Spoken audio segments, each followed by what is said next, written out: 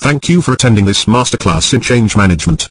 I sincerely hope that you will find it beneficial and, at the end of this course feel confident to implement the strategies we will teach you in this program. My guess is that you would want to know what the course entails. With this in mind let us look at the contents of the course. First you need to be able to motivate why change is good for business. Then understand how to deploy the process. And then to plan, design and implement the relevant change interventions. So in the next section we will start with the business case. Modern organizations are very complex and operate in a very competitive environment. To be sustainable they need to innovate and change on an ongoing basis. Classically organizations focus mainly on research, marketing, sales, production and logistics. Although still very relevant, the nature, location and deployment of the classical supply chain has changed dramatically.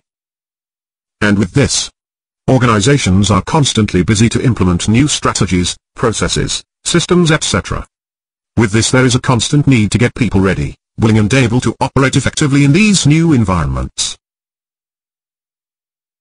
With this in mind it is important to realize that all change interventions aim at integrating the three most basic elements of the organization. These are Technology, in its most basic form thus technique. Processes. And lastly but probably the most important. People's capabilities, motivation and behavior. By achieving this any change intervention is, at least in an organizational sense also a business solution, and provide the rationale to, to embark on a meaningful change process. Let us assume for a moment that our organization wants to change from a manual to electronic bookkeeping system. To implement this change we need to buy a new system and software, technology, operate in terms of the general prescriptions of the system, process, and ensure that people are trained in the use of the system and software. Further that any uncertainty and apprehension in using the system is addressed properly. Classically management and specialists motivate such changes against the background of return on investment, payback period and internal rates of return.